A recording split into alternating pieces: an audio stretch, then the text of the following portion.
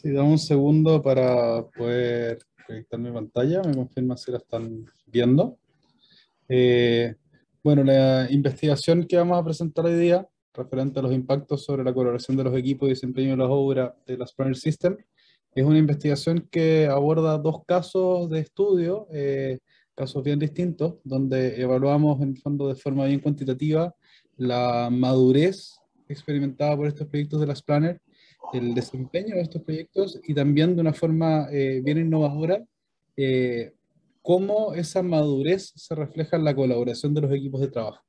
Y en base a eso vamos a poder obtener bastantes insights eh, sobre las ventajas y las claves para mejorar la gestión de proyectos con base en Lean y en el Spanner System. ¿Tú me comentabas, José, si comenzamos? Sí, por favor. Perfecto. Como mencionaba José, yo soy magíster, candidato a doctor de la Universidad Católica. Eh, me he especializado en ciencia de datos aplicada a la gestión.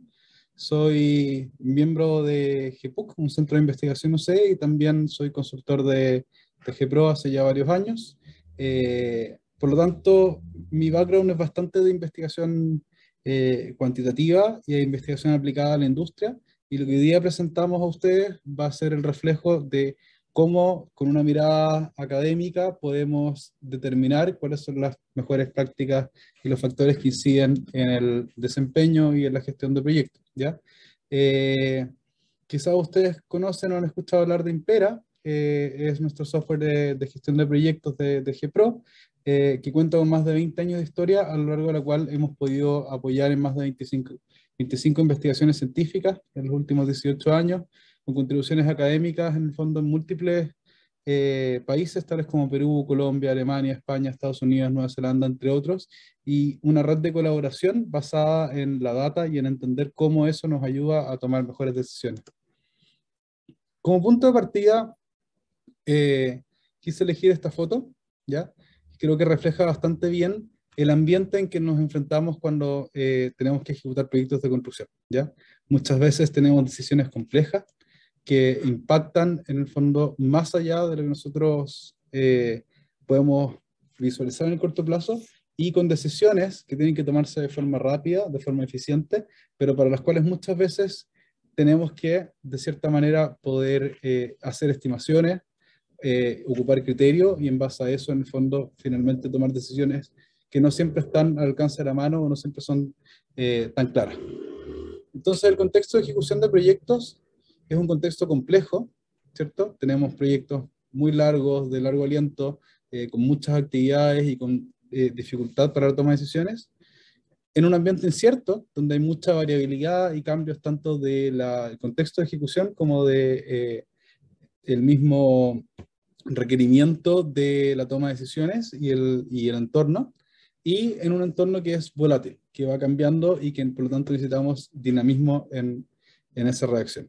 ¿Ya? Eso se conoce como ambientes VICA, ¿ya? o ambientes sumamente ambiguos, en los cuales, en el fondo, las decisiones que yo tomo frente a un instante pueden requerir cambios al instante siguiente, producto de la variabilidad, la volatilidad, la incertidumbre y la complejidad de los proyectos.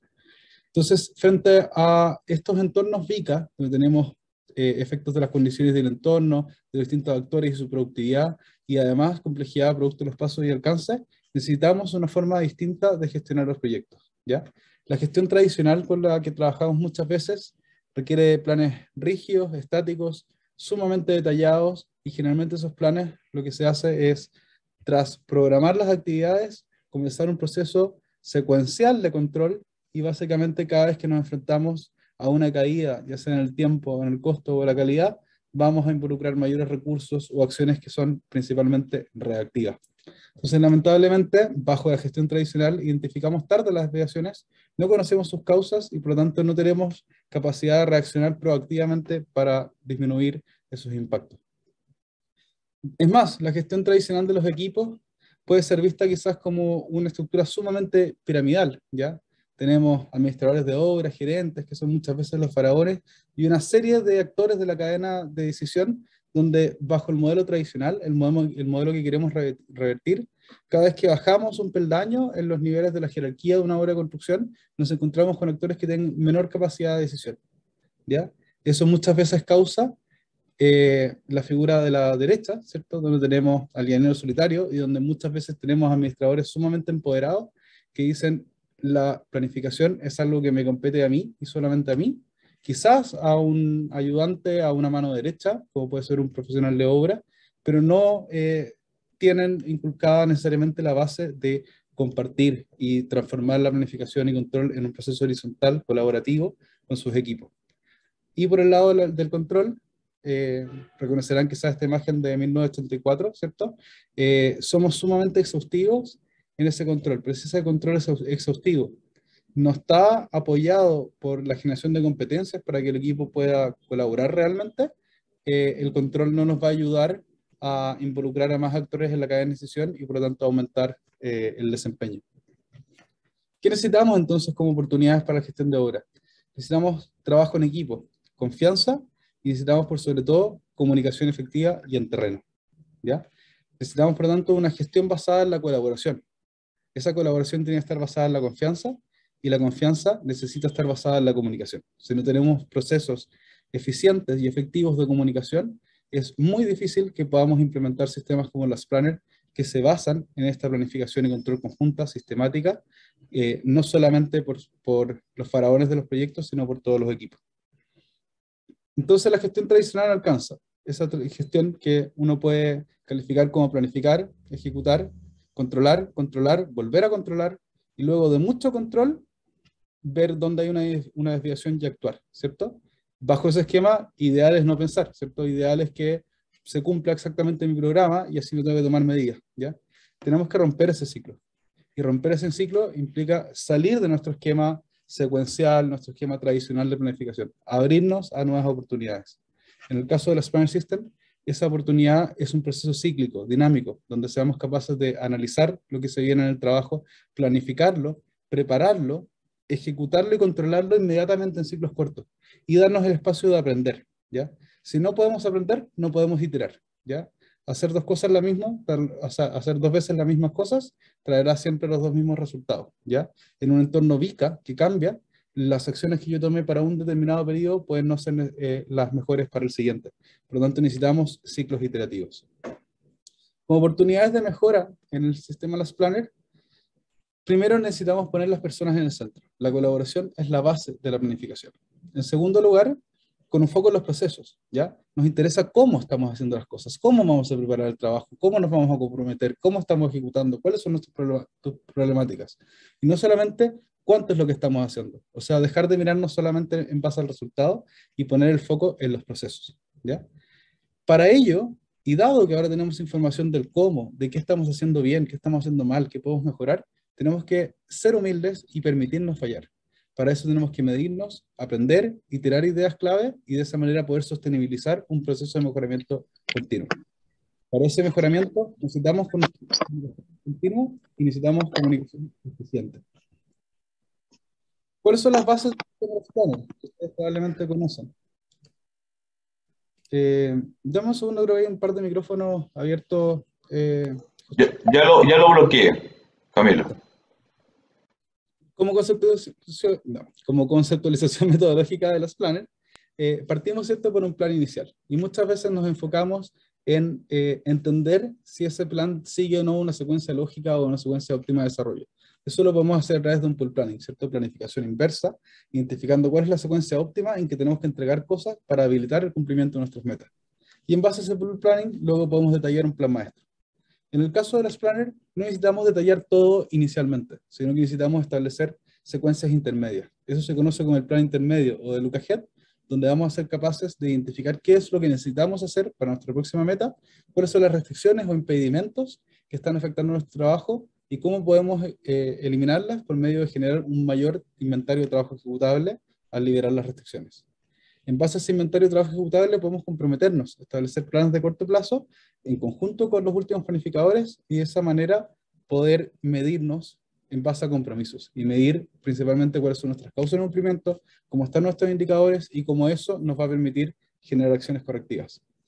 El flujo de este sistema Las Planner se basa en un flujo semanal, ¿ya? que tiene que ser colaborativo. Y la comunicación expedita es clave para que podamos llevar esto no solamente a una única instancia en la semana, sino una gestión diaria, una gestión realmente sistemática.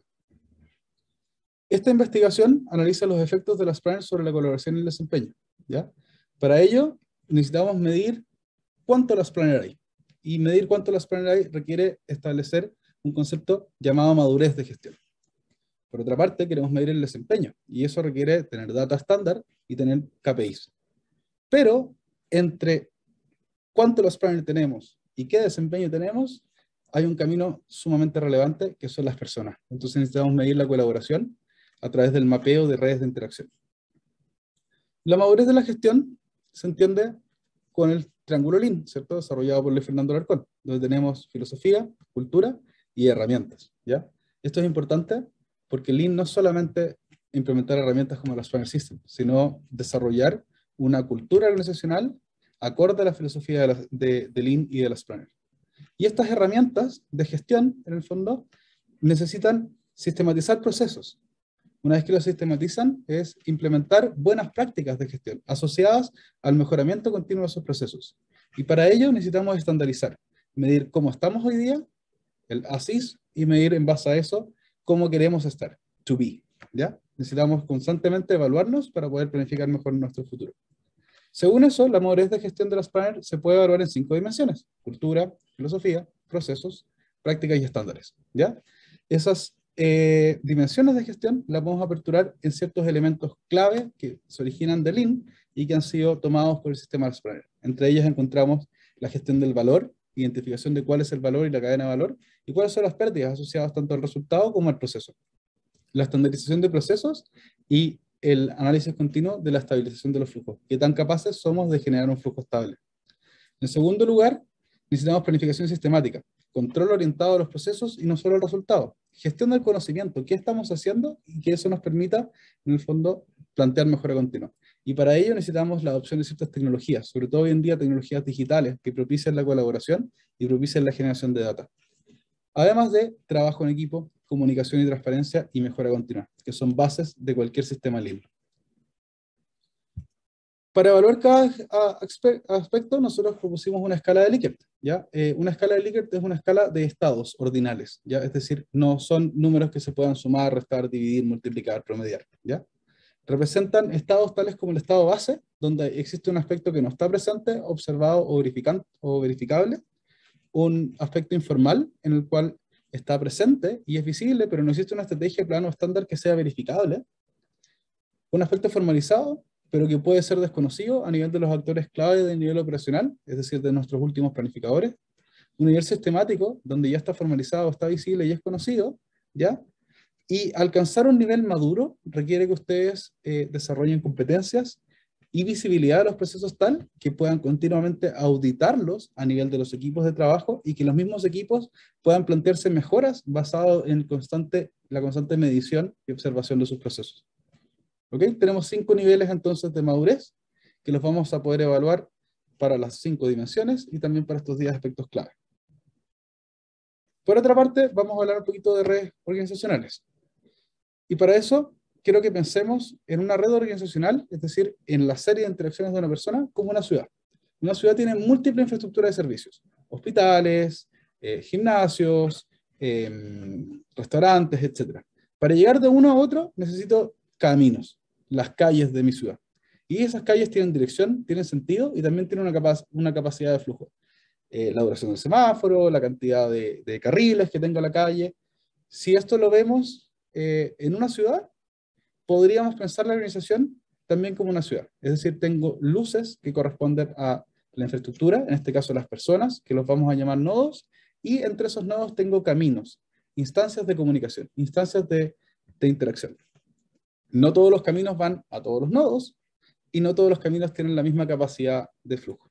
Acá hay un ejemplo con Game of Thrones de cómo uno, puede, uno puede ver reflejado una red organizacional al igual que vería una ciudad, ¿cierto? Tengo nodos centrales que agrupan a mucha gente, como Lord Tyrion y Jon Snow, y también en el fondo tengo ciertas distancias entre caminos, que, entre nodos, que dependen de cómo los caminos los van conectando. Entonces ahora, además de pensar en una organización como una ciudad, ¿cierto? Donde cada persona es un nodo, y entre los nodos existen caminos con sentido y capacidad, vamos a pensar cómo construir una red pensando que esto pudiera ser una molécula. ¿ya?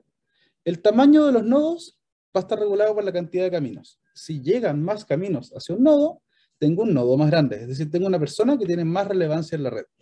Los nodos tienden a repelerse entre sí, es decir, nodos más grandes repelen más a los nodos más pequeños. Personas con mayores interacciones van a empujar más lejos a las personas que tienen menos interacciones.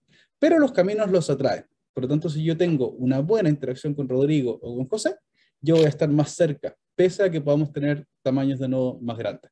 ¿Ok? Por lo tanto, se producirá un balance entre estos nodos y caminos. Ese balance se refleja en la estructura de la red organizacional, como en el ejemplo que les eh, presento acá de Game of Thrones. Es súper bonito eso. Se ven entretenidas estas redes. Pero ¿cómo lo interpreto? Para interpretarlo, tengo que empezar a hacer un análisis matemático. Ese análisis parte de la evaluación de la densidad de la red. Y la densidad no es más que el porcentaje de caminos existentes del total posible en una red. Una red más, densa indica que tiene más conexiones directas, más caminos entre pares de nodos. Y obviamente una red más densa será más eficiente. Porque si yo tengo un camino directo entre Rodrigo, me es más fácil comunicarme con Rodrigo que si tuviera una eh, conexión entre Rodrigo, pero pasando por José. Entonces yo tendría que preguntarle a José, y José le preguntaría a Rodrigo, y se transformaría en un juego del teléfono. Mientras más actores intermediarios tengo, significa que tengo una red menos densa, porque no tengo comunicación directa. En este ejemplo, tenemos cuatro de seis caminos posibles, y eso se atribuye, ¿cierto?, a un 67% de densidad. Es la división simple. El grado medio depende de la cantidad de caminos que llegan a un determinado nodo. Es decir, es el tamaño medio de los nodos. En este ejemplo, vemos que hay nodos a los cuales le llegan dos caminos y hay nodos al que les llega solamente uno, otros al que le llega tres caminos. En este ejemplo, vemos que el tamaño es lineal, pero también vemos que dependerá de la dirección del camino porque siempre estamos considerando la llegada. Es decir, básicamente, ¿Cuántas personas eh, contestan que están en interacción continua conmigo? En este caso, si yo estoy hablando mi tamaño de nodo. Y por lo tanto, el grado medio de la red no es más que el promedio del tamaño de los nodos. El concepto de clustering tiene que ver con la probabilidad de que dos nodos formen parte de un grupo que esté completamente conectado. Por lo tanto, a mayor clustering es mayor la, probabilidad de que exista comunicación eficaz entre dos nodos. Por ejemplo, si tomo el nodo de arriba al centro, puedo empezar a analizar la probabilidad de que esté conectado con el siguiente nodo. Y esa probabilidad, en ese caso, se cumple. Luego, la probabilidad de que esté absolutamente conectado con dos nodos. Y la probabilidad de que esté absolutamente conectado, en este caso, con tres nodos. En base a la suma ponderada de esas probabilidades, puedo obtener este coeficiente de clustering. Lo importante es que sepamos que representa agrupación a mayor clustering, es más posible que existan interacciones entre un determinado par de nodos. Y finalmente tenemos el concepto de centralidad. La centralidad hay que verlo de forma gráfica como una homogeneidad. ¿Qué tan redonda es mi red? ¿Ya? ¿Y qué tan eh, eh, centrada al medio está? Ese concepto de centralidad está, uno lo puede ver como, por ejemplo, el centro de masa de un objeto. Eh, ¿Qué tan literalmente al medio del, del objeto está? Y además, eh, cuál es su estabilidad. Entonces, si nos fijamos en la red de la izquierda, ¿cierto? Esa red es poco homogénea al compararla con la red de la, de, la derecha. Por lo tanto, la red de la derecha tendrá mayor centralidad.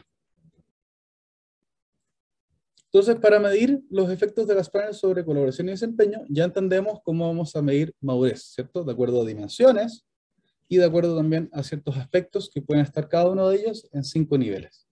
Y la colaboración la vamos a mapear en base a estas redes y la vamos a llevar a indicadores matemáticos para entender qué tan eficiente y eficaz es la comunicación de los equipos. Para medir el desempeño vamos a utilizar el software Impera, que es un software de gestión de proyectos creado en Chile en 2003. Como ya les mencioné, ha propiciado múltiples investigaciones y además facilita la adopción de las planners, sistematiza el flujo de las planners, provee datos accionables, permite benchmarking y fomenta la contribución científica. Para analizar el desempeño, primero vamos a utilizar quizás uno de los indicadores más conocidos de la Spanner, que corresponde al Percent Plan Complete, o el PPC. El PPC no es más que el número de compromisos de un periodo corto plazo que se cumplieron, es decir, que tuvieron un avance mayor que la meta comprometida, sobre el total de compromisos que se establecieron en un periodo corto plazo. En Impera, eso se puede obtener al tener tablas de los compromisos semanales, donde están listadas las tareas, sus responsables, cuánto fue el avance comprometido, y cuando el avance eh, real es inferior a la meta, eh, identifico una causa de no cumplimiento. Y lo puedo ver reflejado en múltiples indicadores, tanto a nivel de los responsables, en el tiempo como en la semana, como la evolución del PPC semana a semana a lo largo del proyecto. El siguiente indicador que vamos a usar está asociado a las causas de no cumplimiento. Y para simplificar este estudio, analizamos el número total de causas de no cumplimiento, eh, que se puede ver como 1 menos el PPC por el número de tareas comprometidas, que es equivalente a decir el número total de tareas que no cumplieron su compromiso, cada una de ellas tendrá una CNC, y un indicador un poquito más avanzado, que es el porcentaje de causas de no cumplimiento internas, percent of internal RNCs. Ya, RNCs es Reasons for No Completion, o sea, es causas de no cumplimiento.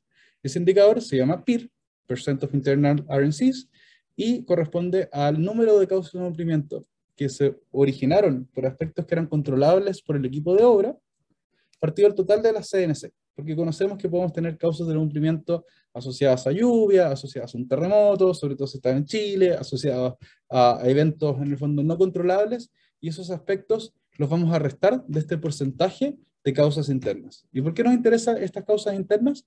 Porque son causas que a medida que yo mejoro mi gestión, deberían o disminuir o por lo menos estabilizarse, es decir, tener una cierta ratio de causas que permanece en el tiempo o que ligeramente va disminuyendo. En Impera lo podemos ver reflejado como la composición de causas en un cumplimiento por semana, eh, los detalles de las últimas seis semanas, históricos, etcétera, y también como paretos, que nos permiten agrupar la frecuencia de distintos eh, eventos que afectan la ejecución del programa. También vamos a analizar el Schedule Performance Index, ¿ya?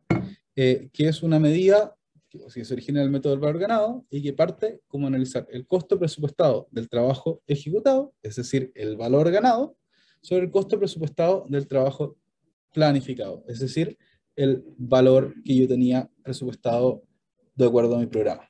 ¿ya? Al analizar valor ganado sobre la meta, estoy haciendo un análisis de avance sobre mi meta inicial o mi plan de línea base, que lo puedo obtener de una curva, mirando en mi curva S cuál es mi avance real y cuál era, era mi avance de línea base, es decir, mi punto inicial de comparación. En base a eso, yo puedo obtener el SPI, en este caso, por ejemplo, para este proyecto de ejemplo, un 96,33%, que es simplemente 40,21, que es el avance real, sobre 41,74, que es la meta inicial del programa. Ahora veamos un poquito de los casos de estudio, a los que aplicamos tanto el análisis de redes como la evaluación de madurez y el análisis del desempeño. Tomamos dos casos de estudio. El caso A, de construcción industrial, corresponde a una planta de relaves mineros que tenía una duración planificada de cerca de un año, con un avance menor al 5% cuando iniciamos el estudio, el cual fue evaluado por 19 semanas hasta obtener eh, un 50% aproximado de avance. Tenía un promedio de 16 tareas en cada periodo de corto plazo. Tenía 49 últimos planificadores y esos últimos planificadores tenían en promedio 2,6 años de eh, experiencia usando las planner. Eh, la medida de experiencia la utilizamos a nivel de profesionales de obra, entendiendo que los subcontratos y el personal de terreno tienen mucha mayor rotación, entonces era difícil ahí evaluar la experiencia con las planner. En el caso del proyecto E, es un proyecto de edificación residencial, es un edificio en altura, tiene 49 eh, semanas, o sea, muy similar de duración planificada, también un avance inicial muy similar, se me dio una semana menos para obtener eh, el mismo avance esperado eh, al término de la evaluación. Tenía un poquito más de tareas, ya que tenía un poquito más de subdivisión de programa. Eh, y lo que sí es importante señalar es que tenía un número mucho menor de últimos planificadores. ¿ya? Pues tenía menos, menos tipos de cuadrillas y personal involucrado. Sin embargo, ellos tenían una experiencia similar con el uso de las planas. Y dado que teníamos un número tan desigual de últimos planificadores, van a ver que después las redes se van a normalizar, es decir, se van a dividir contra el total de actores posibles, el total de nodos, y de esa manera vamos a generar indicadores comparables. Entonces, a resumen de metodología, las redes, es decir, estos gráficos de la interacción entre personas, las medimos mediante una encuesta online, las procesamos en un sistema que nos permite graficarlas y además obtener estos indicadores matemáticos.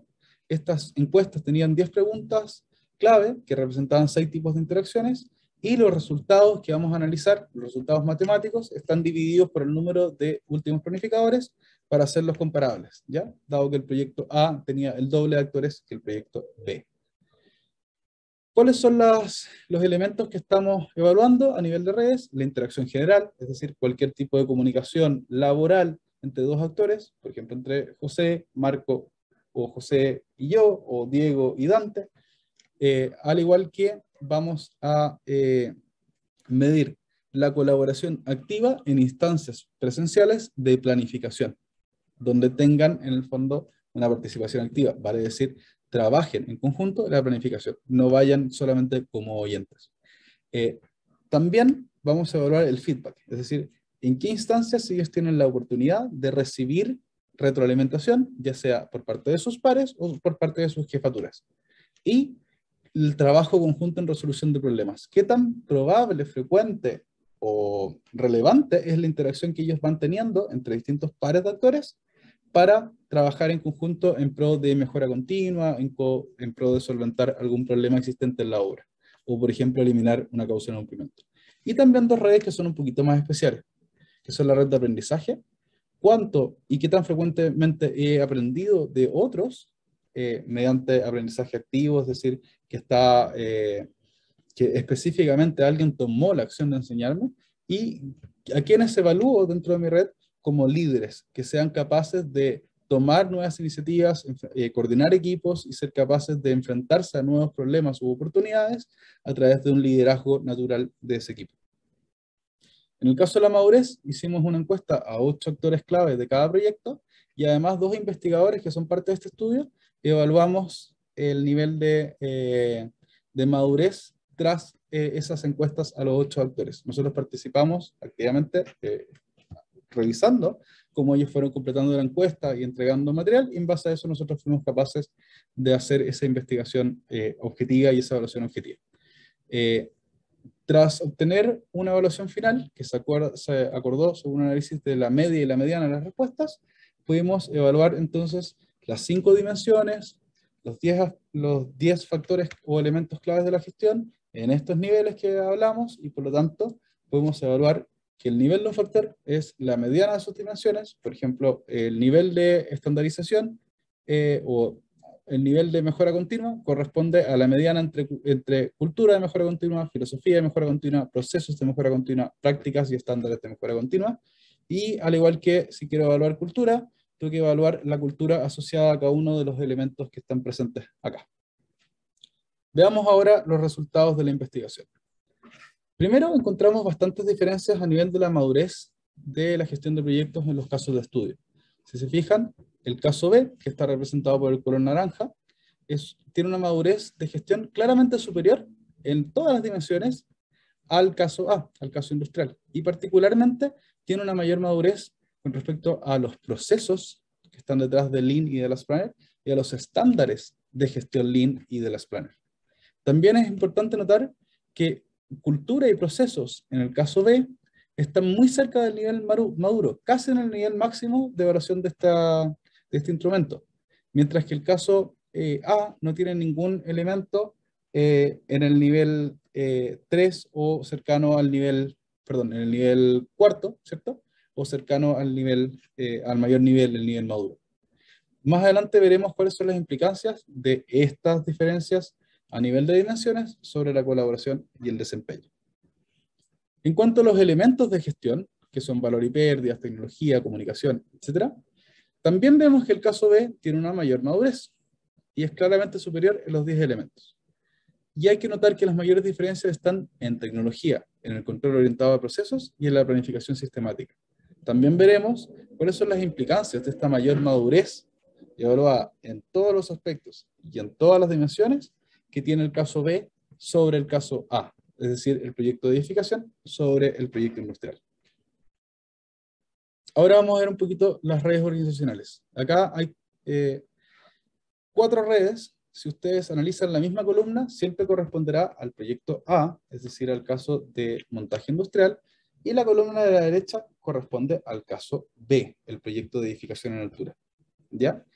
Cada una de estas redes está eh, eh, está eh, organizada por colores en tres niveles. El color más clarito corresponde al equipo de último nivel, los últimos planificadores de la gestión. El equipo eh, del color del medio corresponde a los profesionales que están a pie de obra en terreno y el equipo más oscuro corresponde al equipo de administración, que está principalmente en oficina. Entonces, al principio vemos esto y no podemos entender muchas cosas, o nos cuesta. Pero si empezamos a mirar con detención y analizamos, por ejemplo, la primera fila, que es la red de planificación, vemos que el proyecto A tiene una red que parece ser bastante menos redondita que la red B y que tiene hartos elementos que están como escapando de la red, que no se persiguen al otro lado. Es decir, que las redes del caso B, al parecer, son más circulares, llamémoslo así en este punto, que las redes del caso A. Adicionalmente, si nos fijamos en la fila de abajo, es súper notorio que el proyecto A tiene algunos nodos muy grandes y otros muy pequeños. Vale eh, mencionar que acá los, tamaños de nodos están estandarizados. No importa que uno tenga más caminos que el otro. Ya, es simplemente, eh, o sea, perdón, que tenga más personas una red que la otra. Acá el tamaño eh, más grande es el 100% de los caminos y el tamaño más menor. Si nos fijamos, la red del proyecto B es una red mucho más homogénea, es decir, todos los actores parecen tener una cantidad más similar de conexiones, lo que no ocurre en el proyecto A. Y un tercer punto que quizás es menos evidente, pero hay que señalar, es que en el proyecto A los nodos más oscuros tienden a estar sumamente concentrados entre ellos y al medio. En el caso del proyecto B, los nodos más oscuros están repartidos, están equidistribuidos dentro del proyecto. Si eso lo llevamos un análisis matemático de las redes, vamos a comparar el caso A con el caso B, como les mencioné en cuanto al tamaño de los nodos, que es el grado, la densidad, que es el porcentaje de conexiones que tienen efectivamente visibles, la agrupación, es decir, la probabilidad de que dos actores estén conectados, y la centralidad, qué tan homogénea es en torno al centro de la red. Vamos a ver que en el grueso de todos los elementos, el caso B obtiene mejores resultados matemáticos. Y en particular, hay determinados casos donde el resultado es casi el doble. ¿Qué implicancias tiene esto? En primer lugar, el proyecto B tiene mayor grado y densidad en todas las redes que vimos. Si se fijan, las primeras dos columnas del caso B están todas en verde, son todas mayores que las del caso de montaje industrial. ¿Qué implica eso? Implica que las redes tienen mayor eficiencia, dado que tienen mayor nivel de conexiones directas, es decir, el flujo es más uno a uno, no necesito pasar por demasiados intermediarios para poder colaborar. Por otra parte, vemos en la gráfica anterior que el feedback, que está en la tercera fila, en un caso es cerca del 98%, en otro caso es del 100%, Acuérdense que esto está normalizado con las interacciones para evitar este problema. Y eh, pese a que es similar entre ambos proyectos, el aprendizaje en uno es el doble que en el otro. O sea, fijémonos que los dos tienen aproximadamente 100% de feedback. Pero fíjense en el aprendizaje. Tenemos un grado de 24 y en el otro grado de 40. Una densidad de 23% y en el otro 41. ¿ya? Los resultados son bastante más potentes en el aprendizaje que experimentan las personas del edificio B que las personas que experimentan que, que, lo que experimentan las personas del caso A, el caso de montaje industrial.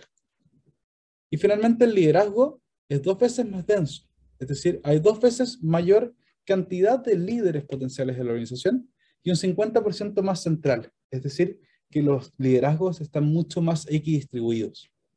¿Qué relación tiene eso con la madurez? Fijémonos que los procesos son muy habilitantes para la colaboración.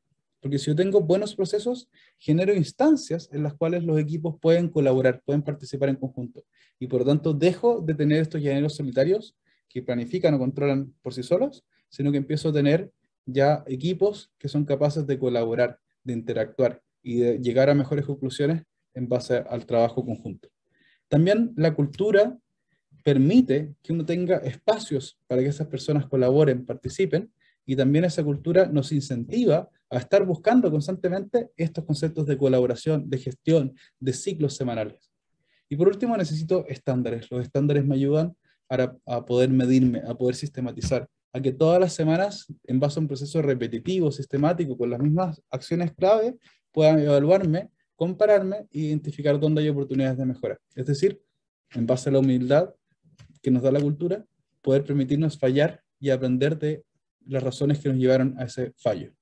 A nivel de determinados elementos clave, encontramos diferencias en la gestión de conocimiento, en la comunicación, el trabajo en equipo y un elemento que es muy central es el uso de la tecnología. ¿Por qué? Porque vamos a ver más adelante, la tecnología nos ayuda mucho a facilitar procesos y estandarizarlos. Y cuando yo tengo procesos que son más simples y que se ejecutan de acuerdo a estándares, es mucho más probable que mi cultura, mi cultura organizacional, tenga herramientas para mejorar su gestión, porque puede sistemáticamente medirse, evaluarse y encontrar oportunidades de mejora.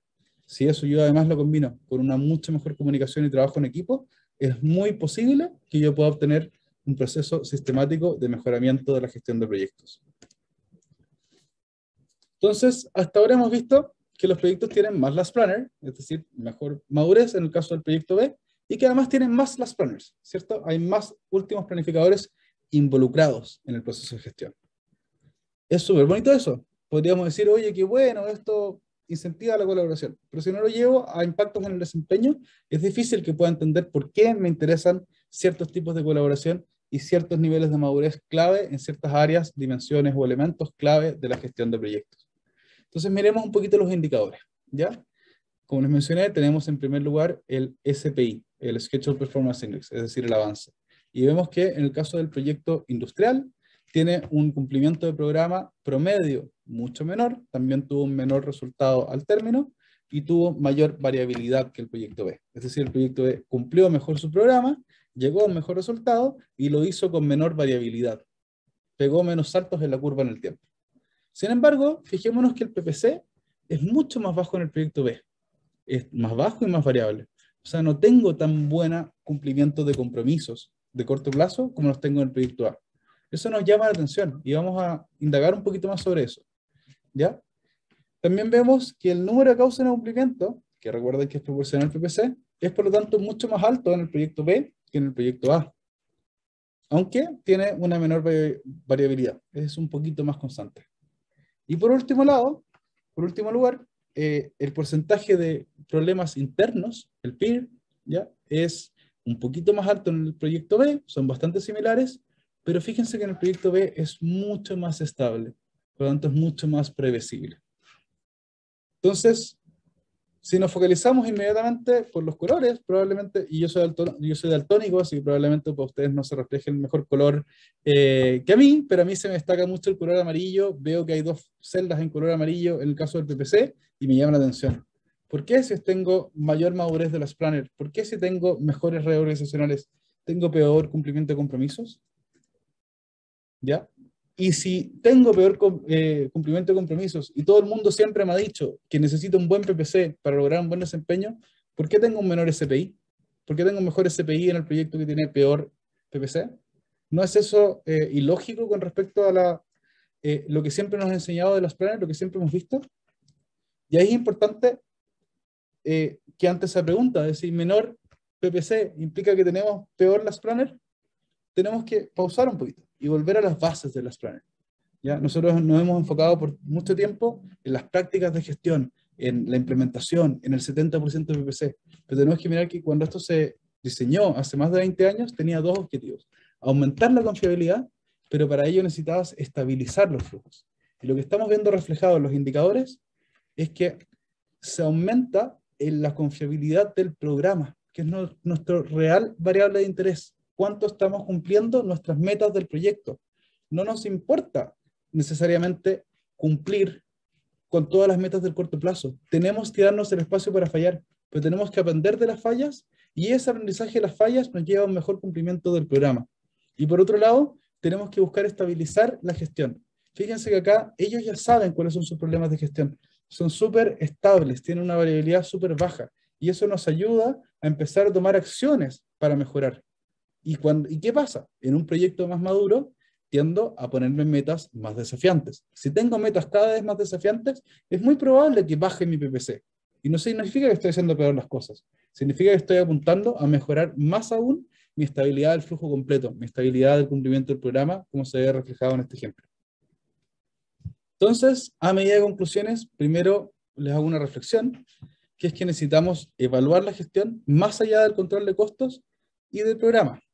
Eso requiere un mayor entendimiento del rol clave de la colaboración y para alcanzar esa colaboración necesitamos conocer las competencias necesarias en los equipos que nos permitan incentivar un proceso cíclico de planificación, control y mejora continua, que no sea a través de llaneros solitarios, sino que sea en base a una gestión colaborativa del equipo en su conjunto.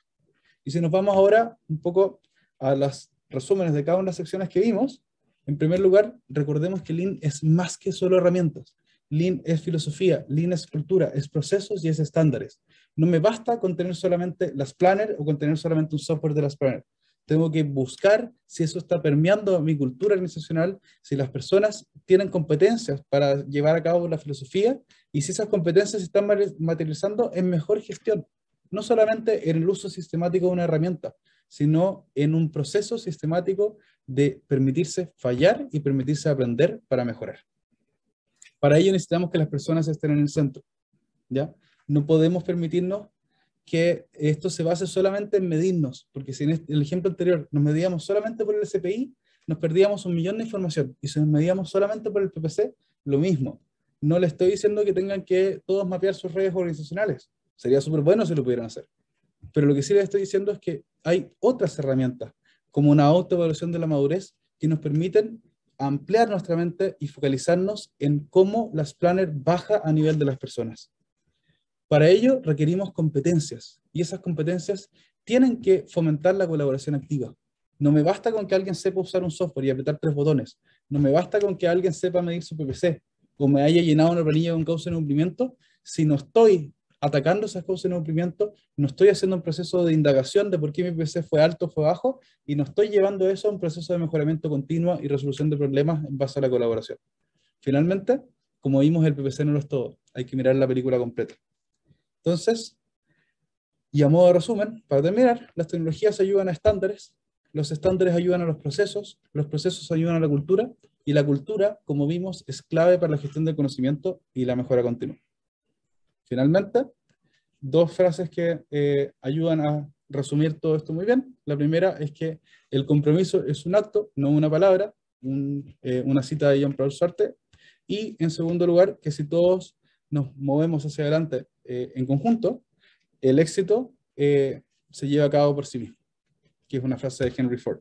Y eso es muy importante cuando nosotros nos plasmemos nuestros objetivos organizacionales que no son solamente mejoremos un indicador, no son solamente cumplamos el programa, son desarrollemos una cultura de mejoramiento continuo que nos permita avanzar más allá de la meta actual.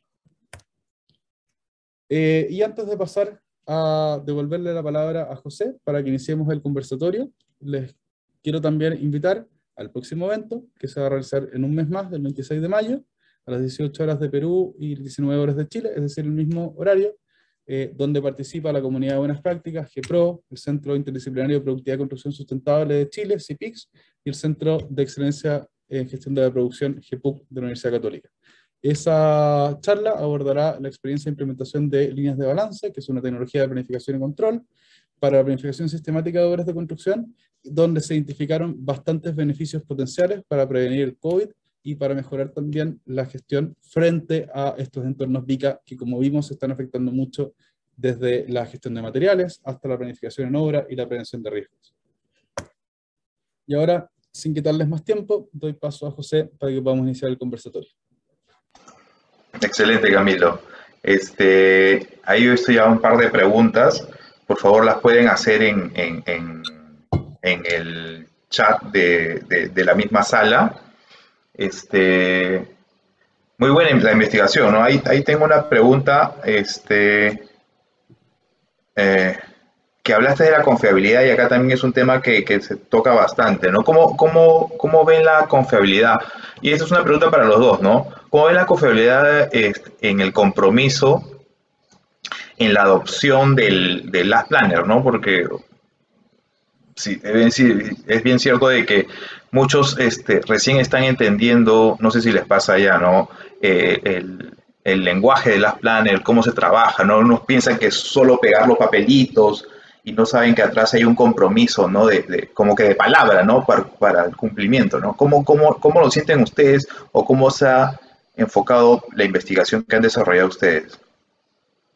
Yo le daría en primer lugar la palabra a Rodrigo, eh, aprovechemos en el fondo ahí la experiencia que tenemos de un profesor con harta experiencia en el tema. Así que adelante. Sí, sí bueno, bueno, gracias Camilo por la presentación muy, muy buena. Que, y, con estos números, porque los ingenieros nos, nos, gusta ver los números porque a veces mucha sensación, hay mucho, hay mucho estómago en esto y, uno necesita la, la evidencia, que uno de, la, de, los principios del IN también, ¿cierto? Tomar decisiones basadas en, en evidencia.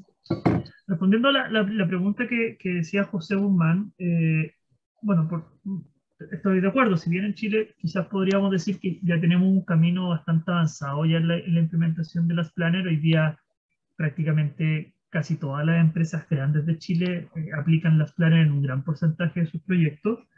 Eh, no, no, todas la implementan bien, y por eso es que es muy, es muy valioso el instrumento que creó Camilo en su minuto en su tesis de magíster hace, hace ya algunos años, en donde logramos, logramos eh, crear un sistema para evaluar el grado de implementación de las planners en, y no solamente en un blanco y negro, ¿cierto? Es, yo aplico las planners o yo no aplico las planners, sino que esto primero es, multifactorial, hay, muchas dimensiones del, que se tienen que evaluar en las planners, y, y, y tampoco es, blanco y negro en cada dimensión, sino que hay, hay bastantes grises entre medio.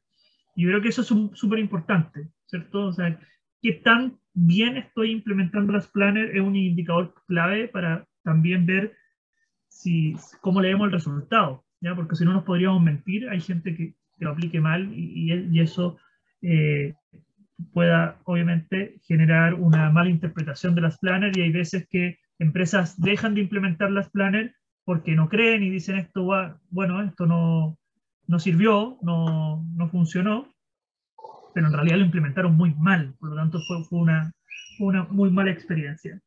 Eh, en mi opinión y, los casos que, que, yo he visto en Chile, cuando me ha tocado hacer evaluación e investigación aplicada, probablemente Camilo tiene más, pero eh, uno de los grandes problemas de la implementación de las planners tiene que ver con que focalizan demasiado todo en la planificación semanal se dan muchísimo de cabeza al plan de corto plazo y puede ser que lo hagan relativamente bien y háganse en su reunión y, tienen la rutina, la disciplina y el POSIT, como, decía, como decías tú, José.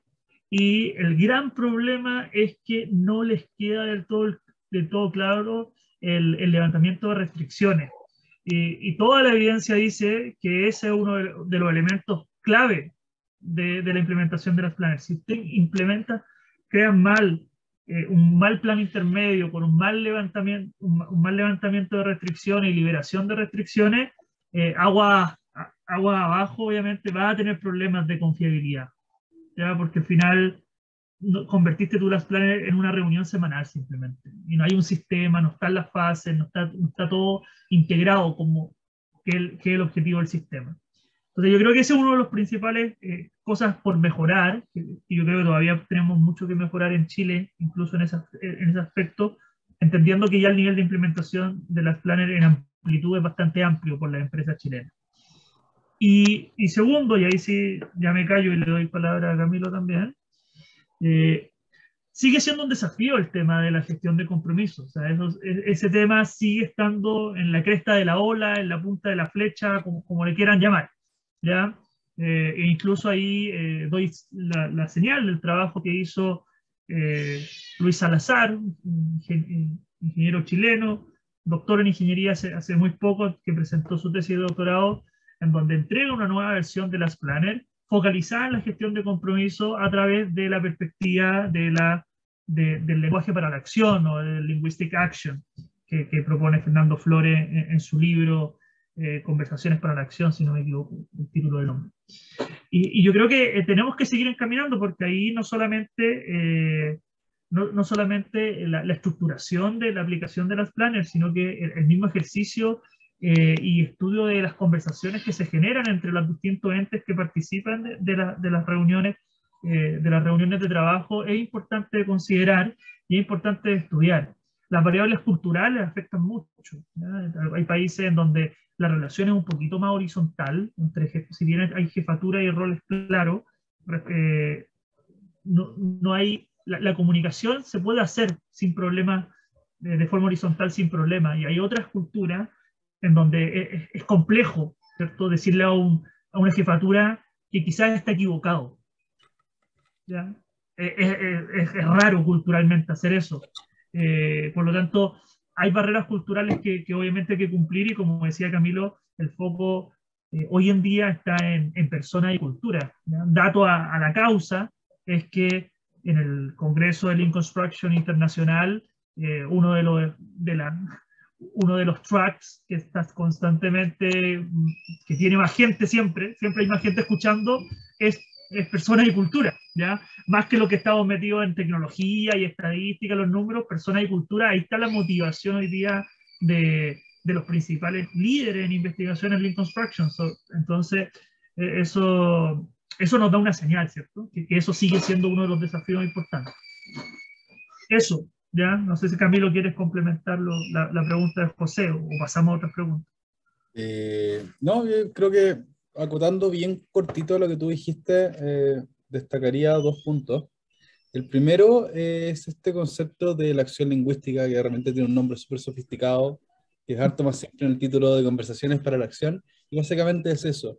La gestión de compromisos eh, puede ser muy buena o muy mala dependiendo de cómo se realmente se establece un compromiso. Es decir, eh, he, vivido muchos casos donde me tocó implementar eh, al comienzo de mi carrera las planners, y tenía un administrador que me decía, no, si todos tienen las planners y cumplimos compromisos, ¿y de dónde salen esos compromisos? No, yo les digo que lo que el programa maestro pide que hagan y no hay ningún análisis. Les informo a ellos sus compromisos. Cuando tú escuchas palabras como esas, les informo sus compromisos, te das cuenta que no estás involucrando al equipo. Y es un arte, no es una ciencia eso. ¿Por qué? Porque requiere mucha eh, tino, mucha eh, práctica y adaptarse a distintos tipos de personas. ¿ya? Eh, ahí como anécdota, a mí en mis últimos años en, en, en Impera me ha tocado trabajar con equipos de desarrollo de software implementando y utilizando las planes, utilizando agilidad. Alguien acá en chat mencionó Scrum, ya lo vamos a abordar, pero eh, es muy distinto trabajar en construcción que trabajar con desarrolladores de software. Y sin embargo, el arte que hay detrás de gestionar equipos, de instaurar que, exista comunicación, que se puedan decir las cosas y que se pueda fallar, es súper importante. Ahora, como bien tú mencionaste, Rodrigo, nosotros somos ingenieros, nos gustan los números. Bueno, la buena noticia es que existen números para eso. Podemos evaluar la colaboración, podemos evaluar objetivamente la madurez, podemos evaluar el desempeño. Y eso nos ayuda a desarrollar este arte que es la gestión de personas. Ese era mi, primer punto. Y el segundo punto tiene que ver un poquito con la práctica. Si quizás algo que nos, que nos duele y que terminamos conversando siempre en los International Groups of Lean Construction y en otras conferencias, es que las personas tienden a quedarse con la herramienta y el método no con lo que hay detrás. Entonces nos quedamos con, ¿mido el PPC? Sí, mido fantástico el PPC. Mira, estoy súper orgulloso, tengo acá el listado de 3.000 causas de cumplimiento. Bueno, ¿y qué hiciste con esas 3.000? ¿Cuánto tiempo te diste para analizarlo? ¿Y cuánto te permitiste a ti fallar para poder aprender? Eso es algo que muchas veces queda en deuda.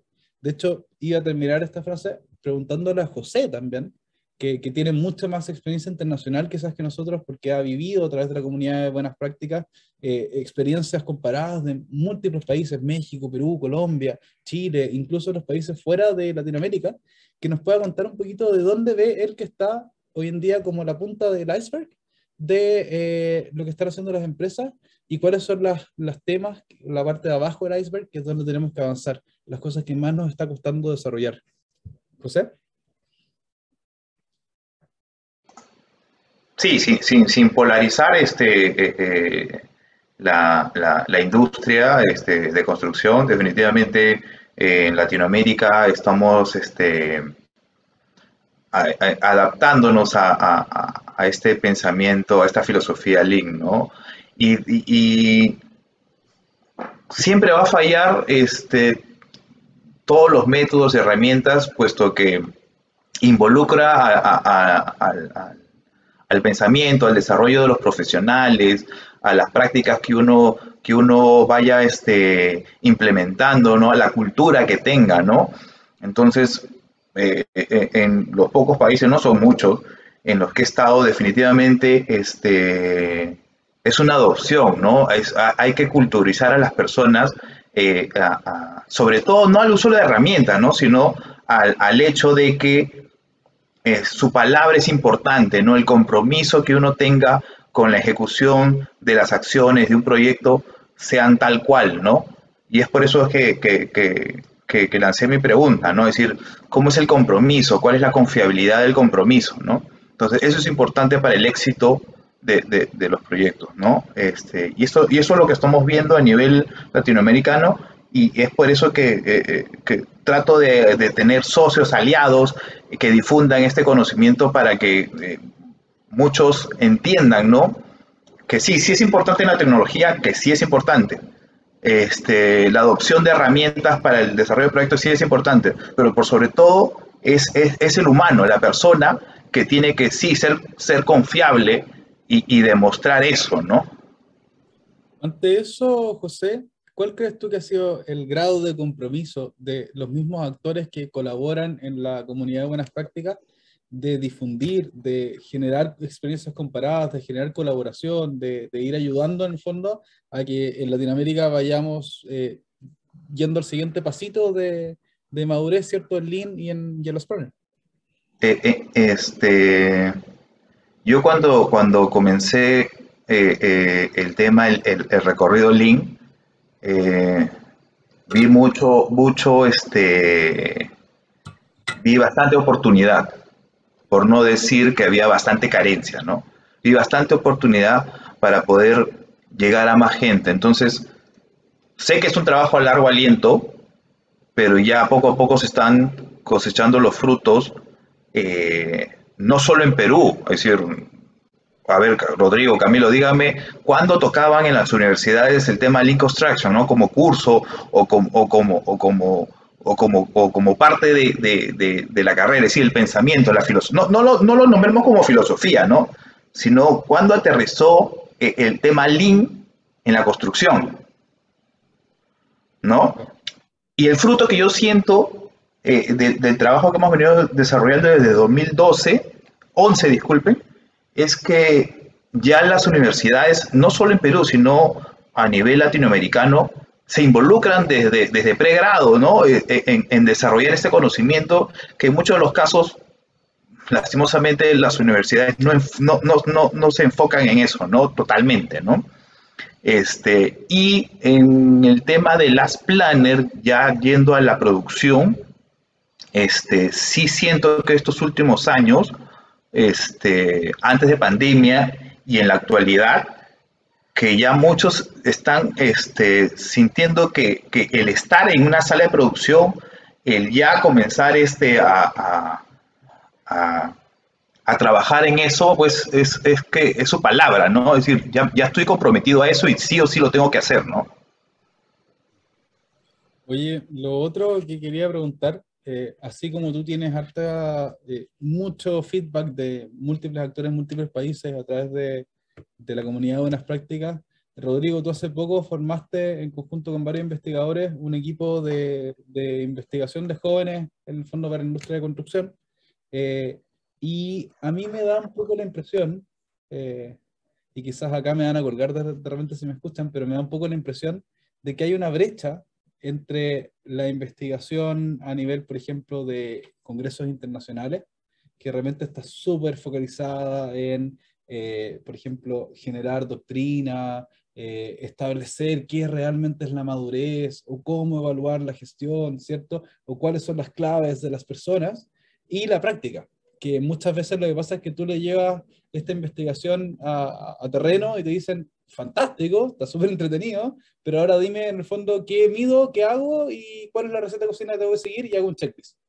Eh, ¿Cómo tú has vivido desde investigadores que, que están bastante más cercanos quizás a, ir, intercambiando experiencia profesional con experiencia académica, en el fondo, que se han nutrido de estos grandes eh, líderes de académicos, ¿cierto? Como Luis Fernández y muchos otros, eh, pero que tienen esta mirada quizás un poquito más, más hacia la acción, más digital, eh, y cómo, cómo se puede ir eh, juntando un poquito estos dos mundos, la academia con, con la práctica. Sí, gracias por la, por la pregunta, Camilo. Eh, a ver, yo creo que, y me voy a agarrar de la última parte que mencionaba José también. Nosotros tuvimos en Chile la suerte de que Luis Fernando Larcón fue uno de los fundadores de este tema, por lo tanto, lo están, en Chile se enseña desde el año 97 a la fecha. Por lo tanto, tenemos un super camino. Sin embargo, ya eh, hoy en día, eh, la mayoría de los, de los departamentos de escuelas de, ingeniería civil o, escuelas de construcción, incluso arquitectura, eh, encontrar investigadores en el área de la gestión es muy difícil. Era muy difícil. Yo creo que ahora no tanto. Eh, normalmente el monopolio está en la, estructura, ¿cierto? La hidráulica, la geotecnia y, esas especialidades. Somos pocos pero locos. Sí, y sí, de todas maneras. y, obviamente, eh, eh, normalmente la, la, gestión está tercerizada, incluso hasta subcontratada por ingenieros industriales, una cosa bien, bien distinta. Yo creo que gracias ha pasado el tiempo y, el número de, académicos que, o investigadores que nos estamos dedicando a la gestión de proyectos, la gestión de la construcción, Lean, el uso de, tecnología, construcción 4.0, todo, todo ese rubro, digamos, toda esa gente ha aumentado considerablemente y estamos haciendo un rol que es bien difícil, porque muchos de nosotros estamos llegando a universidades en donde somos el primero o el segundo en esta temática. ¿Ya? Por lo tanto, nos, ha tocado arar tierra, empezar a, comenzar a formar a, los nuevos, a los nuevos profesionales en esta temática, y, eso siempre es complejo, ¿cierto? Romper la inercia de que, de que la gestión es, interesante, eh, es necesaria, es una que tiene que ser entendida, que tiene que ser enseñada, que no es improvisación, que no es, que sí, por supuesto, el, mundo profesional ayuda mucho pero hay herramientas, hay ciencia, hay un montón de investigación al respecto, por lo tanto, es mucha improvisación, y ahí es donde viene el principal punto, y ahora sí me agarro de tu, de tu pregunta, Camilo. Eh, hoy en día, cuando nos vemos en, vamos a, los proyectos de construcción, hay mucha improvisación. Muchísima improvisación, muchísima intuición, eh, muchísimo bombero apagando incendios todo el día. Eh, y, poca, y poca ingeniería, muy poca ingeniería, poca analítica, poco análisis de datos, sino que básicamente apagar el incendio que se formó cada día eh, suele ser el, el trabajo diario. Eh, yo le digo a mis estudiantes, porque probablemente los que se dedican a la estructura, a la hidráulica, a la geotecnia, vialidad y disciplinas similares, de lo que estudian en la universidad, cuando salgan, se van a dar cuenta que les faltó mucho por aprender en la universidad. En cambio, los que les digo a los que se van a aventurar por el mundo de la gestión, eh, probablemente van a encontrar en el mundo profesional que se aplican muy pocas cosas de las que le estamos enseñando acá. Es un efecto totalmente contrario. Por lo tanto, hoy día nuestros estudiantes van a cumplir un rol de agentes de cambios de profesionalización. De, si nosotros hacia ellos tenemos que ponerle las fichas porque ellos van a ser los agentes de cambio probablemente en el mundo profesional. Eh, si es que no lo hacen, probablemente van a seguir marcando el paso y seguir trabajando en base a la intuición, a la improvisación, eh, que es lo, digamos lo que domina el mercado. Ahí quizás me, agarré un punto que, que, me hace mucho sentido lo que dijiste. Eh, nosotros tuvimos la suerte, los dos, de investigar, de trabajar, colaborar y conocer a Luis Fernando en los magíster, en el doctorado, ¿cierto? Eh, y tuvimos la suerte de contar con una red con los Robertos Luna, de los Luises Salazar, ¿cierto? La, la Paz Arroyo, un equipo gigante de investigadores jóvenes, en el fondo, que han ido juntando un poco la brecha. Pero si uno va, por ejemplo, a, sale un poco de ciertas universidades, sale un poco de cierto mundo, eh, muchas veces pasa que eh, hay muy buenos profesores, profesores que son netamente o académicos o netamente eh, de la industria profesional. Y por lo tanto cuesta un poquito que te vayan moviendo la brecha, que te vayan cuestionando un poquito más allá del sistema. Y el sistema avanza. Yo creo que si uno se queda pegado leyendo la tesis de Ballard y hoy día ve lo que es la Explorer, es muy distinto. Sí, yo creo que ahí hay un, hay un tema súper interesante. O sea, lo, que estamos metidos en gestión de proyectos, nuestro laboratorio son las empresas. ¿ya? Así como la gente va a hacer un ensayo Proctor, la gente va a romper una columna de hormigón al laboratorio y le calcula la, calcula la, curva de esfuerzo de formación.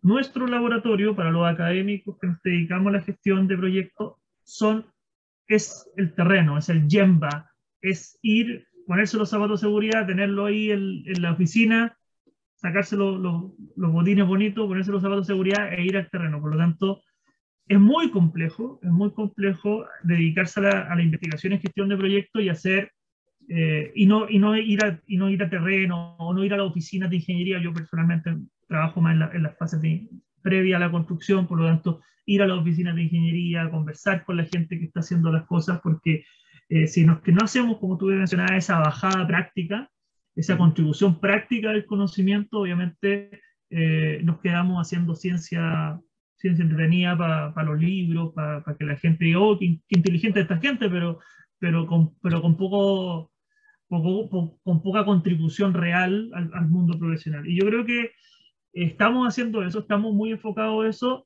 Eh, sin embargo, ahí pongo una alerta a, a, los que nos gusta también todo lo que tiene que ver con las tecnologías, la simulación, las ciencias de datos y, y, todas esas cosas que ahí, eh, desde mi experiencia ya menor, esto ya no tengo los datos ni nada, pero yo creo que ahí podríamos entrar al, al mundillo de, de, de, quedarnos simulando unas cosas sofisticadísimas, modelando unas cosas brutales, pero que en términos prácticos tienen muy, muy poco valor real.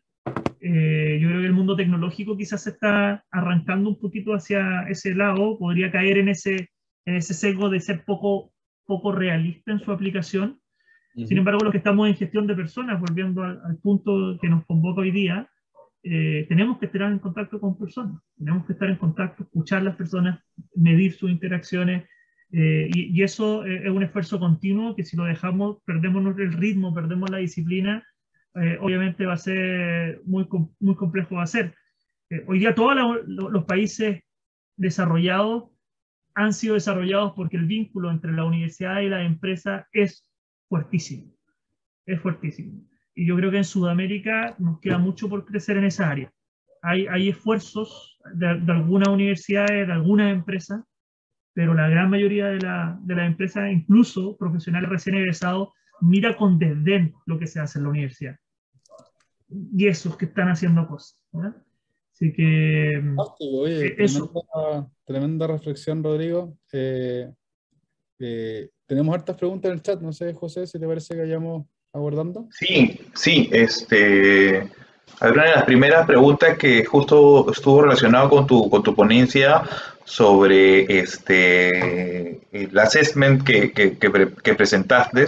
Y dice Alfredo Enrique Weiss, dice, ¿cómo se mide la confiabilidad de las respuestas en la encuesta y qué se pregunta en ellas?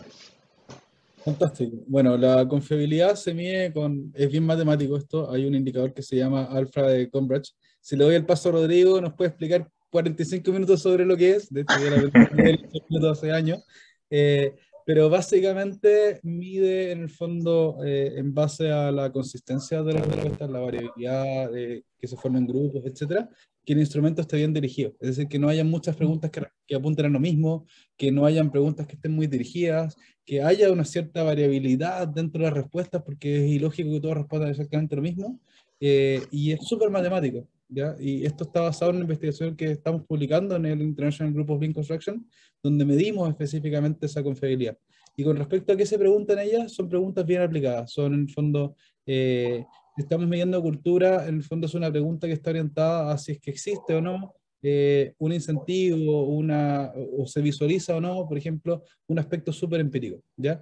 Eh, obviamente no podemos revelar todas las preguntas, eh, es parte de metodologías de estudio y es parte de, temas también, pero hay servicios, por ejemplo, asociados a GPRO que permiten que ustedes evalúen esta madurez y como ustedes saben, todos los que están acá presentes, los sesenta y tantos que están, tienen acceso a descuentos preferenciales para todos esos servicios y para poder estudiar también en profundidad su propia madurez cortito, para, e, eso lo, lo, que contestó Felipe es para cualquier tipo de encuesta en realidad, de, que, de las que nosotros utilizamos y concretamente cuando hacemos las preguntas asociadas a la interacción, eh, ahí medimos cierta coherencia de los datos. Por ejemplo, si yo dije que, interactué con Camilo el, el, mes pasado y Camilo no lo dice versus mí, ahí hay un problema obviamente de coherencia. Y, es, y, eso lo, también es un indicador que nosotros tuvimos que ir creando eh, hace tiempo ya, pero, pero que ya lo, lo, vamos aplicando para medir la confiabilidad de la respuesta. Oye, José, yo, yo no, no, no, quiero saltar la primera pregunta. ¿no? Oye, sí, está bueno. ¿Quieres partir con eso, Rodrigo? La de las Planner y Scrum. Eso lo justo iba, iba, a decir, si tenían alguna reflexión de... No lo, no, no lo pondría como pregunta, ¿no? interesante acá ver qué opina Rodrigo, qué opinas tú. Yo tengo mi propia opinión formada. Partan usted, partan usted. Ya, pues, yo les cuento un poco desde mi perspectiva. Como les digo, yo trabajo con Scrum, eh, pero soy consultor de las Planner e investigo, mezcla entre las dos cosas. Eh, me pasa que siento que las Planner eh, tiene ciertas ventajas en cuanto a que es una filosofía y tiene mucha más consistencia en la parte de investigación, data, indicadores y acciones que están validadas por cientos de proyectos que llevan en prueba buenos resultados.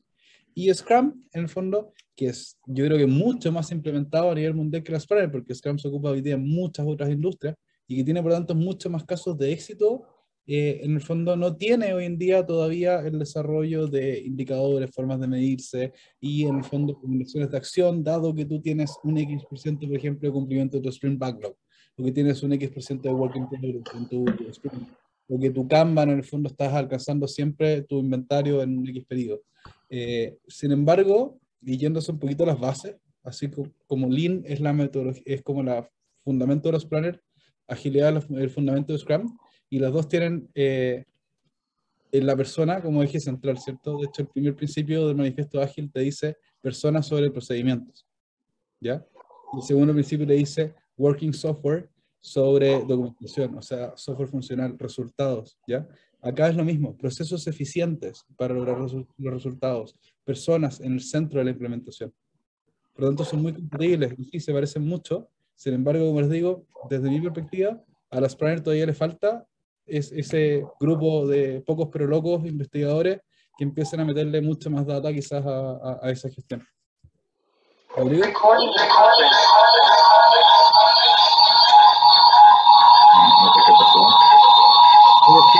Pasó. Sí, estamos. Eh, ¿Rodrigo? Ahora sí.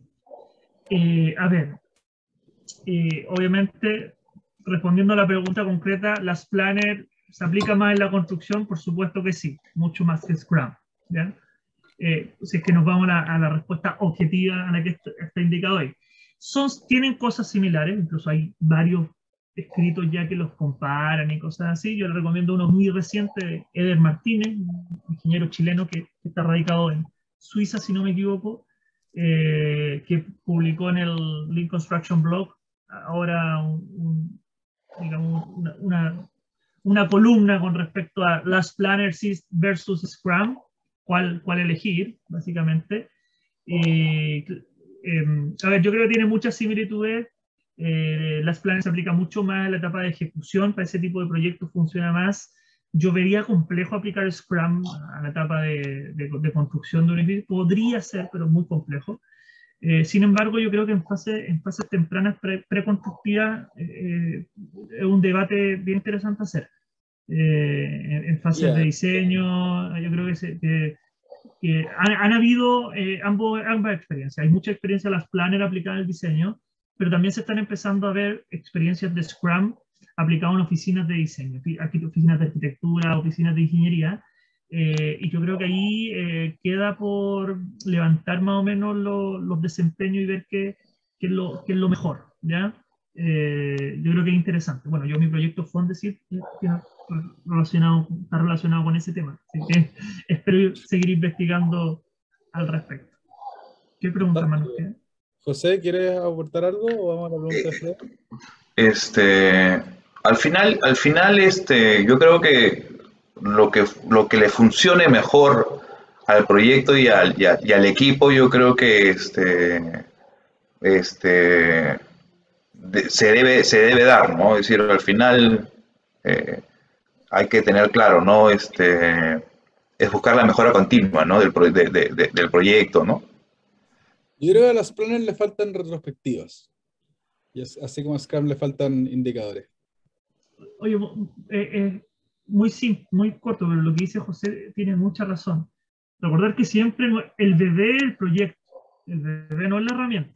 Al bebé que hay que cuidar es el proyecto. ¿ya? Así que a lo que funcione mejor al bebé, al proyecto, el proyecto es el que manda, siempre. Por eso, por eso a veces, a veces cuando hablan de hablan de eh, por qué no aplicamos las herramientas o por qué no usamos el software, por qué no hacemos investigación, la parte académica con la parte de la industria. Al final a, la construcción, al empresario le va a decir, oye, pero ¿cuánto, cuánto es mi resultado económico? ¿no?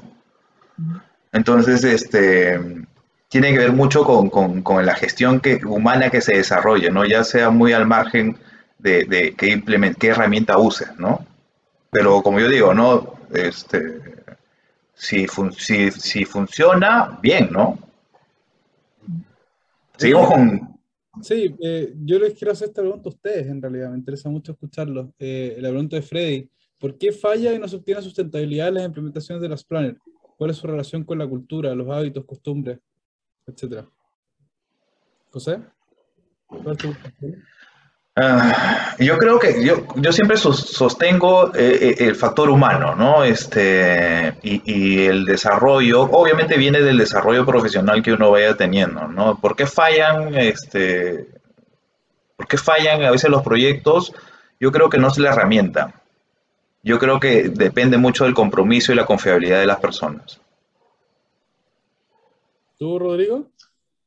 Eh, yo creo que un tema no solamente en la aplicación de las planners, sino que en la aplicación de cualquier metodología nueva en cualquier empresa de lo que sea.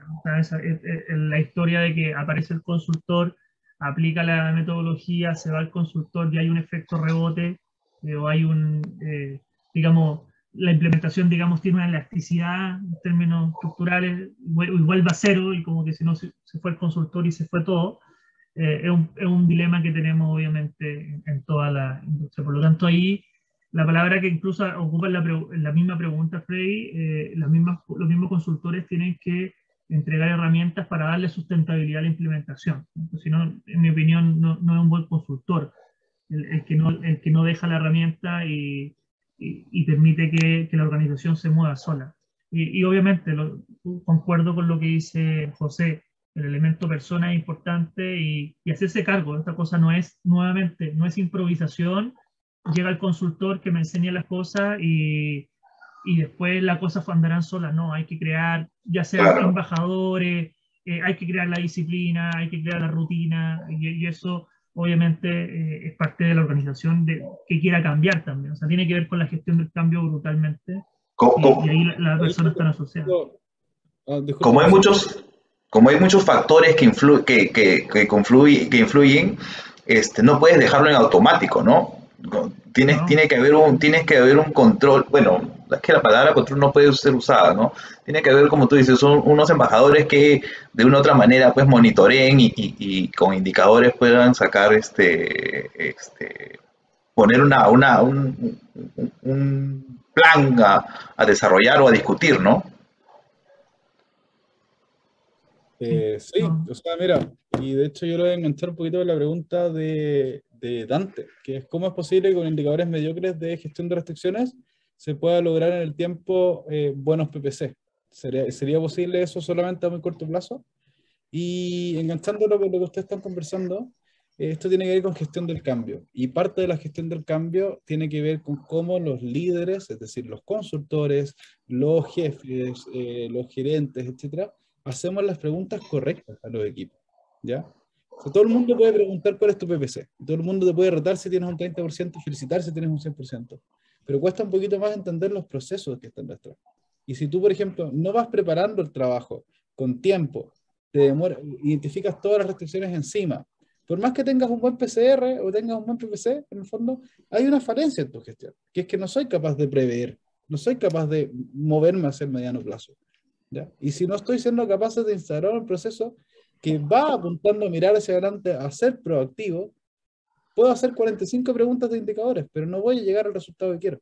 Para llegar, tengo que eh, preguntar respecto del proceso y respecto de hacia dónde estoy apuntando. En este caso, qué tan proactivo estoy siendo en pro del futuro.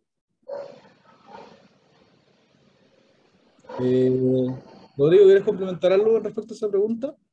No, yo creo que hacemos la siguiente, ¿no? Para por no honrar el tiempo y o intentar responderlas todas. Eh, Diego Rojas tiene una pregunta que está, es, pero pintada para ti, Rodrigo. Soy estudiante de último año de Ingeniería Civil y quiero saber qué cursos eh, puedo, me pueden recomendar para especializarme en construcción y gestión, aparte de los clásicos de Lean y BIM.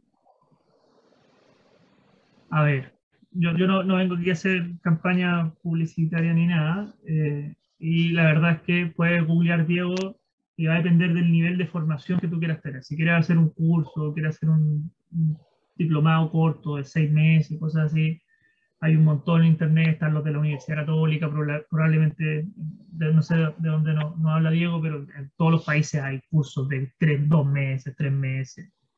Eh, yo creo que eso, cualquier cosa. Eh, y si tú quieres formarte un poquito más, obviamente te recomiendo el Magíster de Administración de la Construcción de la Católica, que en términos profesionales es muy bueno. Sin embargo, creo que te pide experiencia profesional y puede ser que ahí todavía no, no pueda entrar. Y si no, si es que te interesa meterte mucho en el tema, el camino que siguió Camilo es un magíster en ciencia para meterte a investigar sobre las temáticas también no, no es descabellado. Eh, pero yo creo que en googleando, Diego, hay, hay, bastante y de todos los precios. Así que dependiendo de tu billete, de tu, de tu presupuesto, obviamente. eh, puedes...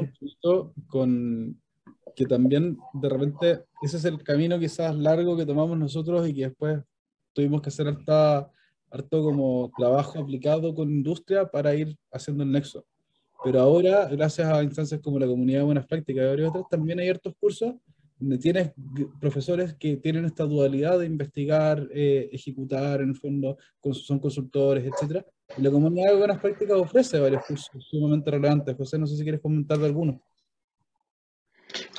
Sí, este, antes de comentar, es decir, a mí no me gusta, no me gusta este, ver la, parte comercial, este, pero en, definitiva existen, eh, eh, y ahora más con, con, la, con, con la, facilidad de, de, que nos dio este, la pandemia, de tener acceso de forma virtual a, a, a distintos, este, a distintas universidades, institutos, programas de formación, este, yo diría que, que, todo el conocimiento lo tenemos a la mano sin pagar algún sol o algún dólar. Pueden entrar a, a, las plataformas este, eh, que desarrollen este conocimiento totalmente gratis. Pueden leer infinidad de papers en, en, en, el IGLC, que es el International Group for Reconstruction. Pueden entrar a la página del LSI eh, de Estados Unidos y, este, y, bajar infinidad de información a la página del LSI Perú, este, y, y, lo tienen a la mano. Es decir, ¿por qué esperar a, a a salir de la universidad y prepararse en algún curso o alguna especialidad, ¿no? Si lo pueden comenzar ya a, a, a, re, a revisar y repasar, ¿no? Oye, y una nota margen, al margen ahí para quienes les gusta un poquito este, o les llama este bichito de la investigación, yo creo que es una experiencia súper entretenida eh, hacer un magíster de ciencia, si te, si te da el tiempo y tienes cuatro años para hipotecar, hacer un doctorado, eh, o hacer algún programa que incluya investigación aplicada, porque al final te permite testear de primera fuente muchas veces que cuando, cosas que cuando uno lo hace como profesional, tienes una sola experiencia, que fue el proyecto donde lo hiciste. Pero acá te permite en el fondo empezar a ver, oye, ¿realmente esto es así? ¿O estoy siendo sesgado por eh, lo que leí o lo que vi de tal persona? Entonces es súper útil en el fondo, si tienen la, el interés, poder hacer investigación aplicada no tienen para qué hacer un doctorado, pero realmente es súper útil. Eh... Yo quiero completar, para el final, para, para, tener este tema, este, y no sé si yo, bueno, yo, es lo que yo he visto, ¿no? o, he, podido determinar. Este, nos falta mucho eh, en la iniciativa de investigación a nivel latinoamericano. A diferencia de otras, de otros, de otros, este, de otros, este, eh, continentes, es decir, de Europa o Estados Unidos mismo, este, el desarrollo de investigación a nivel latinoamericano es muy pobre. Entonces, de ahí yo creo que parte este, eh, las ganas de investigar y de desarrollar temas así, ¿no? Yo siempre le digo a los, a los chicos de las universidades que comiencen a hacer trabajo de investigación, que presenten papers, ¿no? Así es, de todas maneras. Eh, bueno, ahí los, los, brasileños nos llevan la, la guía. Eh, nosotros cuando hemos ido a congresos con Rodrigo, de repente, si juntáis todos los los peruanos, los colombianos, en el fondo los argentinos, los chilenos que estamos ahí, eh, le jugamos un partido de fútbol a los brasileños y los brasileños tienen un equipo, el segundo equipo de banca. Pues. hay, hay muchos jóvenes investigando eh, y creo que tenemos que, que, priorizar eso acá. Oye, hay una pregunta acá que, que eh, está pintada también para Rodrigo. ¿Se está utilizando BIM con las planners en procesos de procurement, de abastecimiento?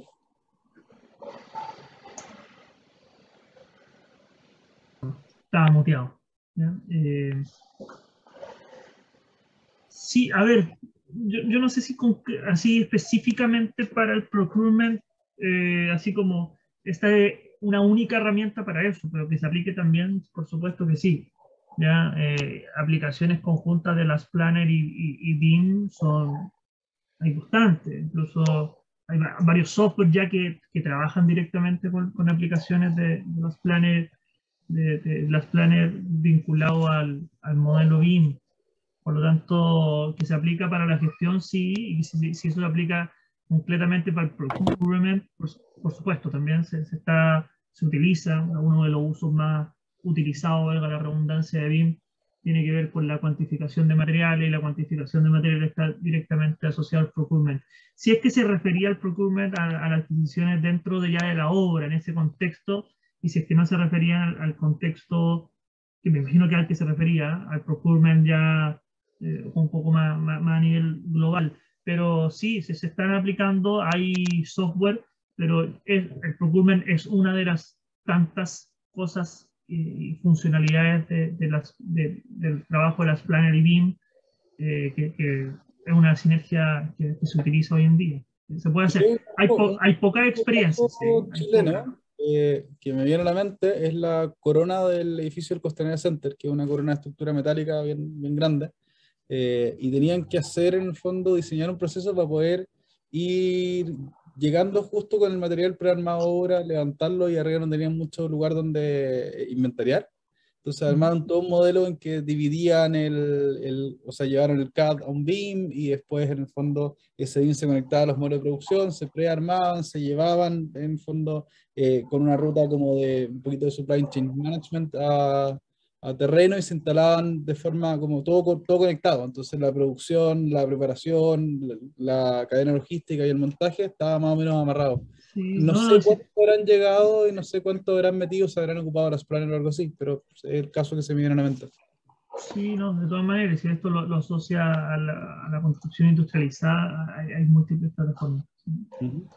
Oye, eh, como futuro ingeniero, eh, ¿cuál es la meta a la que recomiendan apuntar? Y si lo podemos quizás ir resumiendo un poquito más cortito para, poder avanzar con las preguntas. En mi caso sería, eh, hazte muchas preguntas, hazte muchísimas preguntas y trata de hacer casos de estudio e ir validándote. Yo creo que lo peor que podemos hacer es quedarnos con lo que nos enseñaron y lo peor que podemos hacer es quedarnos como con nuestra primera experiencia y pensar que eso se va a repetir en el tiempo. Estamos en un ambiente VICA y por lo tanto mientras más preguntas nos hacemos, más espacio nos damos para aprender, fallar y iterar.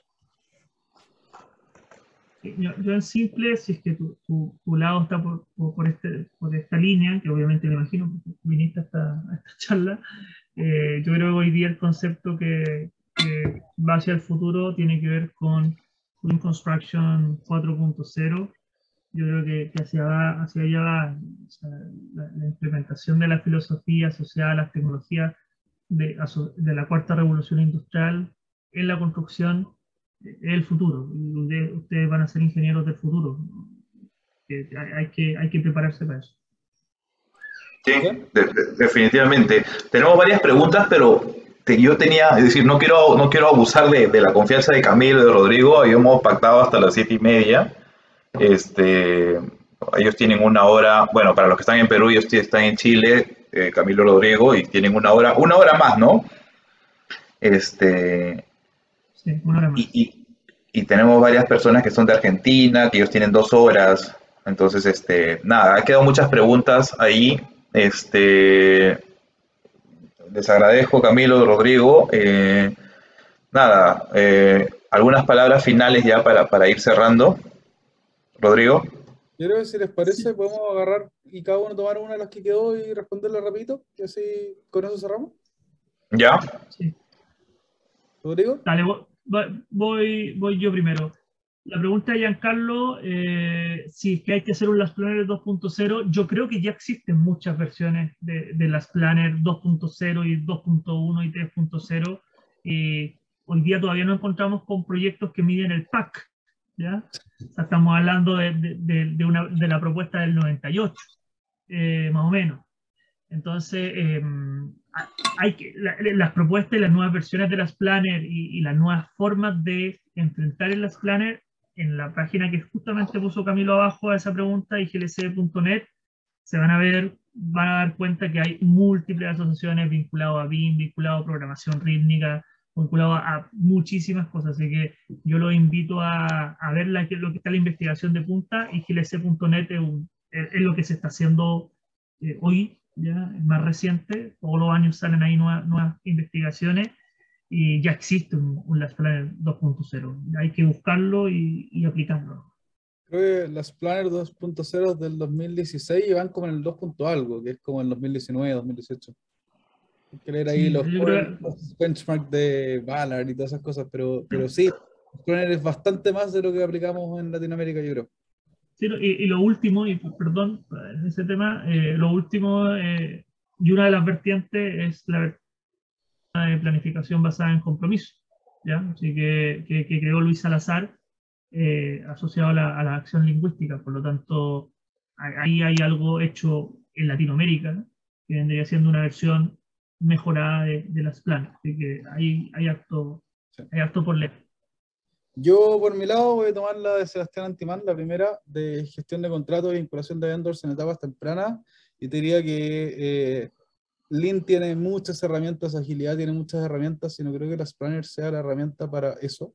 Creo que Target Value Design, Integrated Project Delivery, Supply Chain Management y varias otras metodologías eh, están precisamente apuntadas en eso. Sobre todo, integración temprana, que sea, es Integrated Project Delivery, te ayuda, por ejemplo, a que eh, lo, la cadena de producción y todos los stakeholders compartan riesgo, compartan valor y tengan incentivos a colaborar eh, Target Value Design te apunta a que tú puedas establecer mecanismos donde apuntas a ir disminuyendo el costo del proyecto y por lo tanto sistematizando mucho mejor o reduciendo pérdidas con, con los stakeholders, con la cadena de valor.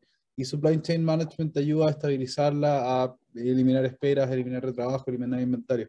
Eh, la Spanner es bueno, pero no es para todo. Y creo que en este caso hay otras herramientas Lean mejores. Eh, José, nos va quedando creo que una más. Este, yo, yo, yo, me, yo termino con, con, lo que dice Alfredo Enrique, ¿no? Lo principal es el recurso humano. Esto influye este, mucho en el flujo. Yo diría que,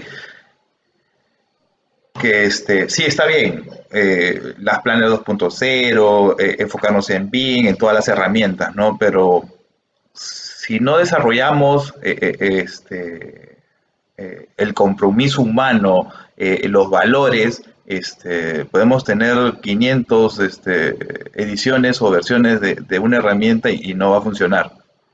Entonces, este, enfocarnos, a, enfocarnos al desarrollo humano, es decir, a, despertar las capacidades y sobre todo el compromiso y la, la lealtad con, lo un, con uno mismo, ¿no? Para no decir siempre sí, sí a todo, ¿no? A veces, a veces los errores parten por eso, creo, ¿no? Sí, de todas maneras, comparto contigo. Oye, eh, bueno, muchas gracias eh, Rodrigo, José por el espacio. muchas gracias a todos los que vinieron. Eh, yo cierro principalmente con lo que les dije. Eh, ya sea que estén trabajando, recién egresando, eh, leyendo harto, háganse preguntas, háganse preguntas y de esa manera en el fondo van surgiendo bastantes ideas y hay harto campo para innovar. No creo que tengamos que hacer 45 tipos de las planes más, pero sí, en el fondo, en base a preguntas y en base a ir buscando un poquito, van a encontrar qué es lo que necesitan. Y las planes no es todo lean, hay mucho más. Sí, yo una frase de cierre que la estaba ocupando toda esta última semana, estoy pegado con este tema. La gestión no se improvisa. Ya, la gestión no se improvisa y se puede hacer mejor de cómo se está haciendo hoy día en el mundo profesional. Este, gracias este Camilo, gracias Rodrigo. Este, no se olviden la próxima conferencia con, con, con, con nuestros amigos de GPRO.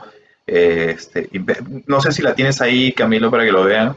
De todas maneras, este, nosotros en la comunidad estamos sacando la, la, segunda versión del experiencias Last Planner eh, LATAM. Eh, pronto les voy a compartir ya las fechas y, y, qué es lo que vamos a desarrollar, ¿no? Pero ya lo, lo, más próximo es nuestra próxima conferencia con, con, con que es el 26 de, de mayo, ¿correcto, Camilo? Sí, disculpa, me pillaste desprevenido, había cerrado todo. Ah, tengo mano. 26 de mayo, mismo horario, mismo lugar. Este, igualito yo tengo los, los, correos, les voy a pasar las invitaciones para que, para que estén presentes, ¿no? Gracias a todos por estar y, y, y gracias Camilo, gracias Rodrigo por el tiempo y por la disposición en, en compartirnos sus experiencias. Gracias a todos. No, gracias a ustedes, que estén muy bien. Un gusto como siempre.